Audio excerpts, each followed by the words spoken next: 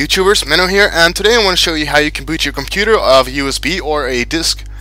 And to do this, uh, you're usually greeted with a screen that looks something like this. It could be some different uh, screen depending on the manufacturer of your computer. But in this case, it's F12 to uh, go to the boot menu.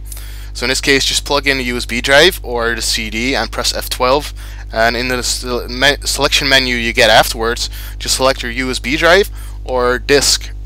Now in some cases like in this screenshot right here it's not displayed on the screen. Uh, what button you should press to enter the BIOS settings or the boot, boot selection uh, settings. Now in this case you might want to look into the manual of your motherboard to see which button you should press to get to go to the um, boot menu selection. And in some cases the boot menu is not even showing up just the setup. In this case uh, just press F2 to enter a setup because it might actually be disabled.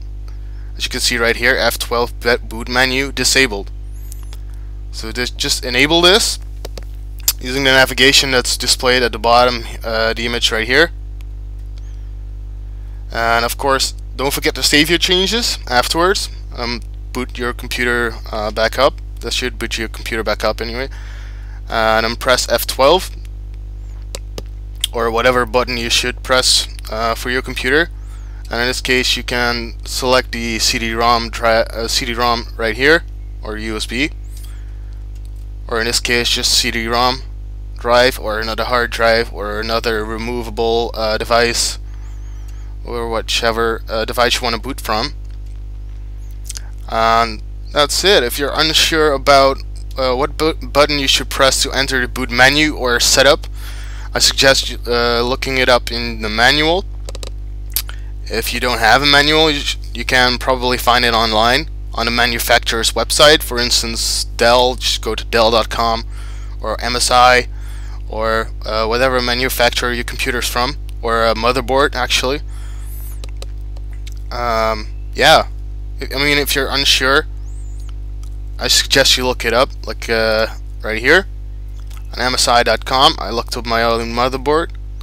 Usually it's under the support, either support or download, where it says right here, manual.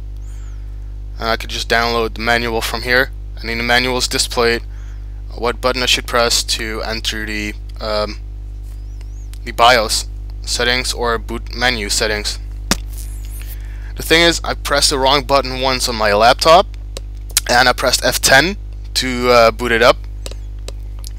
Um, yeah, that was the wrong key. It entered recovery mode, and I couldn't get out of recovery recovery mode and boot it up normally again. So I really highly uh, suggest you look it up in the manual if you're unsure about which button you should press.